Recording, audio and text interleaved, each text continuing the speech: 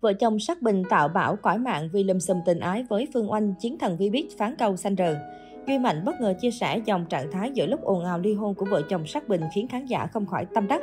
Quả nhiên là chiến thần Vbiz chẳng ngán động chạm đến bất cứ ai. Những ngày qua, mạng xã hội không khỏi xôn xao trước ồn ào ly hôn của vợ chồng sắc bình cũng như mối quan hệ tình cảm giữa ông chủ Nestet và nữ diễn viên Quỳnh Búp bê Phương Oanh. Sự việc chưa rõ trắng đen nên ngày càng gây tranh cãi gay gắt trên các diễn đàn. Trong khi tam giác tình ái của vợ chồng Sắc Bình và Phương Oanh nhận sự quan tâm đặc biệt của công chúng, ca sĩ Duy Mạnh bất ngờ có chia sẻ gây chú ý về việc đàn ông có bồ.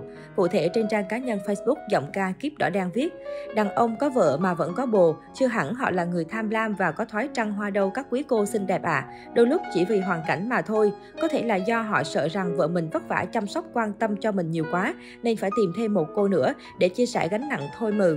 Có gì đâu mà các quý cô cứ phải xoắn hết cả lên. Với những ai thường xuyên theo dõi Duy Mạnh sẽ biết bài đăng của nam ca sĩ vốn dĩ chỉ là nửa đùa nửa thật. Dường như giọng ca gốc Hải Phòng vừa khéo léo bóc trần thói hư tật xấu của một bộ phận đàn ông, vừa muốn khuyên nhủ chị em rằng nếu bắt gặp chồng ngoại tình thì cũng nên có cách xử lý bình tĩnh thông minh, không việc gì phải xoắn hết lên.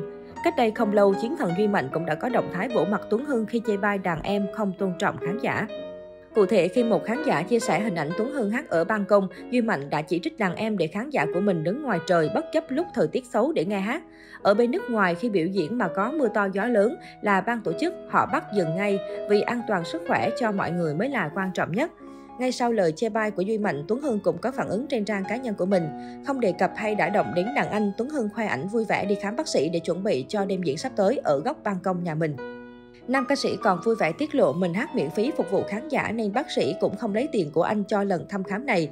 Bảo trì bảo dưỡng dây thanh để mùng 3 tháng 9 phục vụ bà con. Góc ban công bây giờ là tâm huyết, là nơi để chính mình và các đồng nghiệp được chơi nhạc đúng nghĩa với những khán giả thật sự đáng yêu.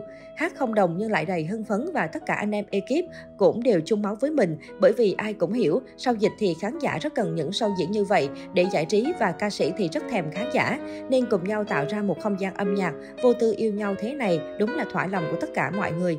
Chị Trang bác sĩ bảo, hát phục vụ khán giả cống hiến không có cách xê nên hôm nay chị chữa cho em miễn phí. Đấy, cuộc sống này luôn tốt đẹp nếu chính bản thân chúng ta luôn nghĩ đến những điều tốt đẹp, làm những điều tốt đẹp và chúng ta sẽ vô tình nhận được khi đã biết cho đi. Dù không nhắc đến Duy Mạnh nhưng qua lời lại của Tuấn Hưng có thể cảm nhận ngụ ý sâu xa của anh, muốn gửi đến đàn anh là bản thân mình đang phục vụ miễn phí, nhưng hết lòng cho khán giả. Chính những người thưởng thức âm nhạc của anh sẽ hiểu cái tâm, cái tầm mà anh gửi gắm đến họ, thay vì người ngoài nói ra nói vào. Duy Mạnh là sao việc hiếm hoi có tính cách thẳng thắn, dám bóc trần góc khuất của giới showbiz. Anh nhiều lần lên tiếng mỉa mai những ngôi sao lớn dính vào ồn ào từ thiện, sử dụng chất kích thích làm màu với công chúng. Do đó, nam ca sĩ quê Hải Phòng không được lòng nhiều khán giả. Tuy nhiên cũng không ít người yêu thích sự thẳng thắn đó cũng như tính cách hài hước và có phần tục của anh. Do đó đi tới đâu Duy Mạnh cũng được khán giả yêu mến chào đón nhiệt tình.